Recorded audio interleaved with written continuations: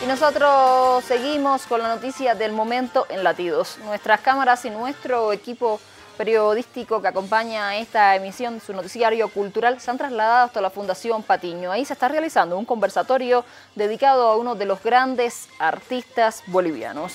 A principio de nuestro programa hacíamos un recorrido por la muestra que está precisamente en este espacio cultural dedicado a Cecilio Guzmán de Rojas. Hoy se está desarrollando en estos momentos un conversatorio también para conocer el legado de uno de los artistas más importantes del siglo XX de esta nación.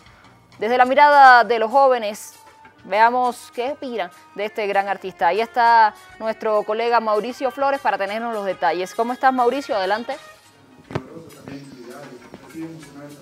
¿Cómo estás, Diane? Muy buenas noches. Y justamente como tú decías, estamos aquí en vivo en la Fundación Patiño.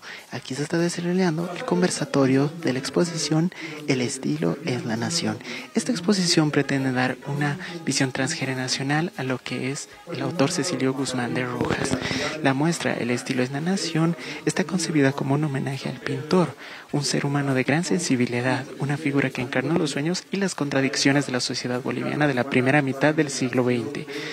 Así es como podemos ver que la exposición se está desarrollando justamente para las nuevas generaciones, los herederos de la República del siglo XIX que ocuparon nuestra historia hasta mediados del siglo XX. Es como indican esto. Escuchemos la exposición un poco, por favor. Presenta una fantasía simbólica y obsesión sexual con una lujuria triste.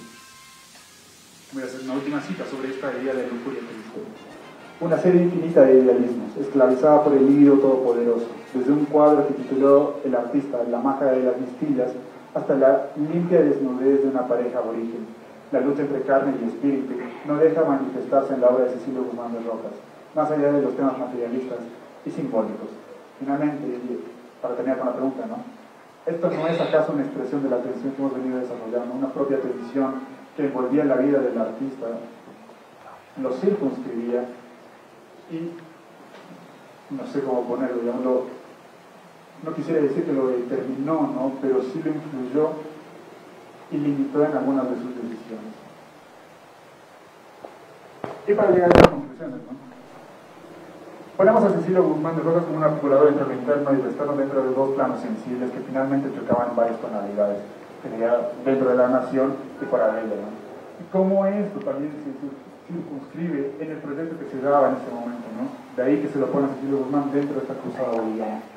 Muchísimas gracias, Mauro, por dejarnos detalles de lo que está sucediendo en estos minutos. Nosotros esperamos que mañana en Latidos tengamos un ampliado de esta información. Yo te agradezco, por supuesto, el pase y la actualización de lo que está ocurriendo justo ahora en la Fundación Simón y Patiño, donde además está disponible la muestra pictórica de este gran artista boliviano.